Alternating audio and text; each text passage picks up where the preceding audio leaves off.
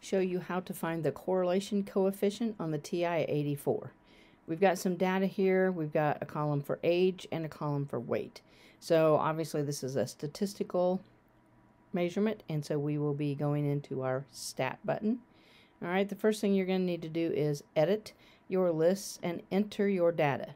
To save time in the video, I have went ahead and added the age into the L1 list and the weight into the L2 list. Once that is completed, then you can hit your stat button and arrow over to calc. And then let's choose 4 so you can either arrow down or choose 4 all right now what this is going to do this is going to give us a linear regression. Our x list is in L1 which should automatically come up. If not you could change that.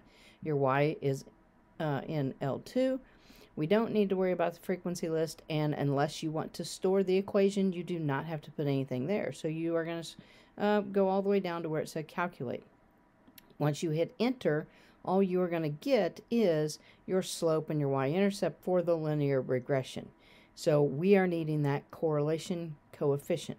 In order to get that, you have to go into the catalog to turn it on.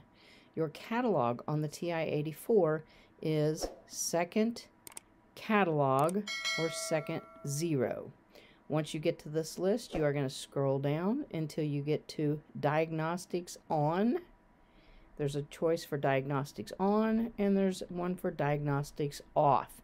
All right, we need to turn diagnostics on. So select that and then hit enter. And then when it pops up on the screen like this, you're going to have to enter again.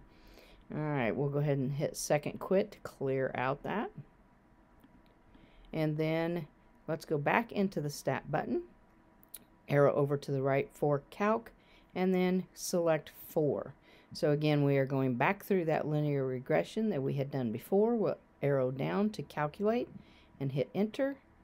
And as you can see now, the value of R, which is 0.97907, is our correlation coefficient and it is now showing. So pretty straightforward. You just have to make sure that you turn diagnostics on in order to get that correlation coefficient to show up.